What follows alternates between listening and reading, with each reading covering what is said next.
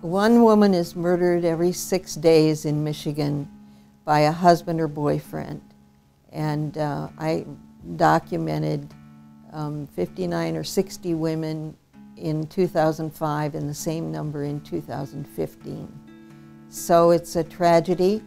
And, the, uh, and to further the tragedy, um, a third of the men who murdered their wives or girlfriends in 2005 committed suicide afterward.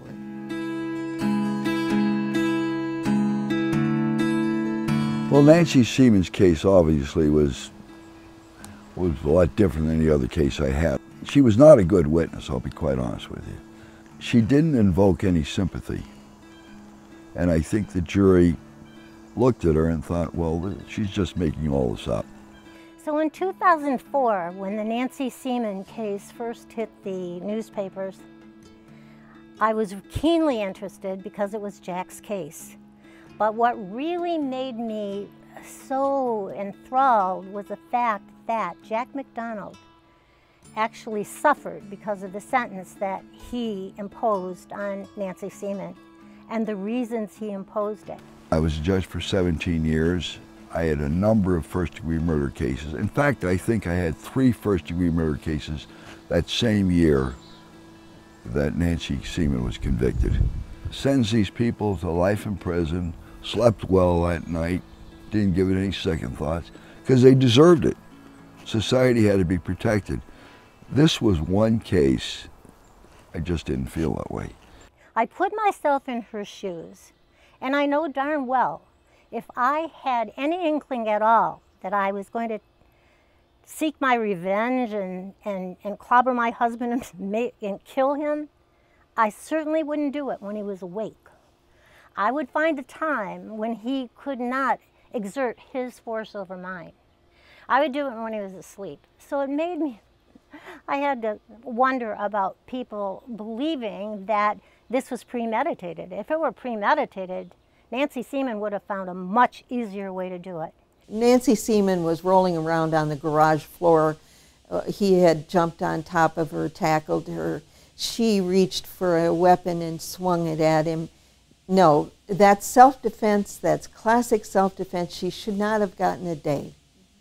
An expert can testify as to the traits and characteristics of a battered woman but they can't give the ultimate conclusion that so and so is a battered woman. And that's what was missing in this particular case. There's a the case law is uh, People versus Christel, which is 449 Mich App 578. I'm just quoting from it. This is the important part. The expert may not opine whether the complainant is a battered woman, may not testify that the defendant was a batterer or guilty of the instant charge, and may not comment on the complainant's truthfulness. Dr. Lenora Walker, who was an expert in the field of battered woman syndrome, testified that a battered woman could come from a high economic group, a low economic group. They can be a professional person, a non-professional person. They can be passive. They can be very active. They can be very educated. They can not be educated. But she didn't testify and couldn't testify that, in her opinion, Nancy Seaman was a battered woman, and then explain her actions both before and after she killed her husband. Here you are. The expert, Dr. Lenore Walker, is right in that courtroom, and all she can do is testify generically to what spousal abuse is all about. So Dr. Lenore Walker was precluded from giving that testimony. And I have to follow the law, and I couldn't allow it it's just so unfortunate that I wasn't on the jury because if I were on that jury, I would have said, no way, no way did she premeditate this. This is something that still weighs so heavily on her heart. I don't know what she would do if she had it all. To, she had no choice. There was no going back. She, it was at that moment she felt, it's him or me. He's going to kill me. And so she struck him, not knowing that that first blow killed him. She didn't know that. Nancy wasn't herself. She was defending her life. She was in a she was in a self-defensive mo mode like any one of us would be, and and now we know the consequences, and that's so sad. The jury's a trier of fact, and I shouldn't interfere with their verdict. And I and I didn't. Although in my mind I thought that she was battered.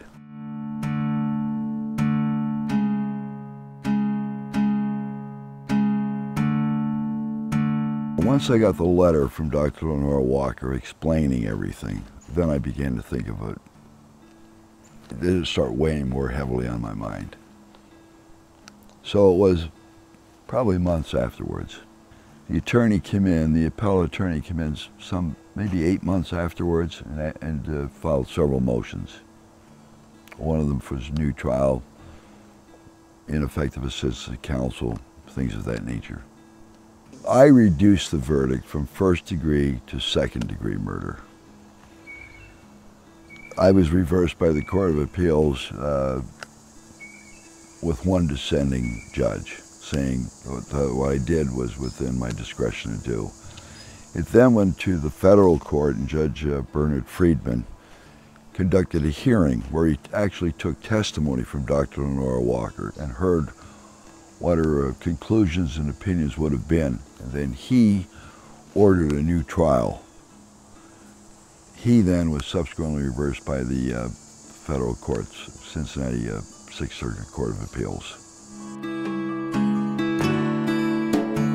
So I'm not being critical of the jury's verdict in that respect because they didn't have all the information. Had, had they had all that information, I'm not saying they would have come up with a different verdict, but there's a good possibility and probability that they might have come up with a different verdict. Maybe second degree murder, maybe manslaughter, or maybe even self defense. And, and they didn't have that option because they didn't have all the information. Where Nancy Seaman is, there are a lot of other women just like Nancy. If if they are if they do not have a full defense, by having an expert witness testify not generically to a case, but, but specifically to a case, you're not going to have justice in this country. It's obscene that you could, she couldn't have the proper defense. And that breaks your heart. And that's what broke Jack's heart, Honorable Jack McDonald's heart. He couldn't live with that. I couldn't live with it either. I don't know how anybody could live with that. I, I did write a letter to Governor Snyder asking for clemency, and uh, what happened was I was contacted by Miss Carol Jacobsen. She's the director of the Women's, what is it, Clemency. And the more I thought about it, I just thought, it's on my conscience, and I have to write a letter. So I, I wrote a letter, and I told I, I didn't want the governor to think I was some sort of liberal do-gooder. I hope I'm a do-gooder, but I don't think I'm real liberal. So I wrote him a letter trying to explain who I was and why I was writing the letter. And I wanted him to know that I didn't take this lightly. This is something I thought about quite a bit. So I tried to, first of all, explain myself that that I'd never reversed cases, I'd never changed jury verdicts, and I knew that she was exhausting her appeals through the court system. So the only way Nancy Seaman is ever going to see the light of day again is if the governor acts. And I hope he does. You know, I took a big risk when I reversed that case. I'm an elected judge. I thought, God, when that hits the newspapers, that's the end of McDonald as a judge. It took great courage on his part because it was election time. And um, in this area, Republicans are lauded prosecutors and judges when they're really tough on crime.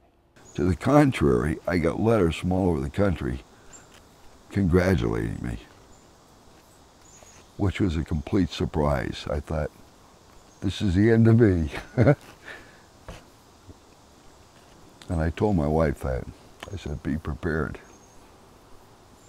Your husband's no longer going to be a judge come the next election. But it didn't happen.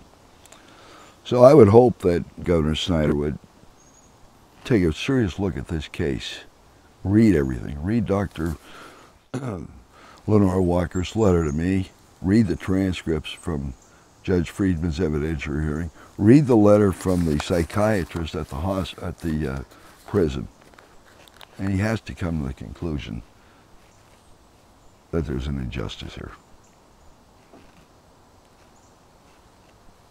That's all I can say. It's um, a terrible crisis, and we're not dealing with the issue um, as well as we should in the United States. Uh, it's um, still a, a, matter of ignorance um, among judges, among prosecutors, among defense attorneys on how to handle these cases, on how to handle um, women, especially who defend themselves and their kids. Uh, they are not given um, any kind of mitigation of the, of the circumstances of their cases. Uh, even the law that has been passed across the country allowing um, abuse to be presented by an expert witness um, who discusses the battered woman's so-called battered woman syndrome.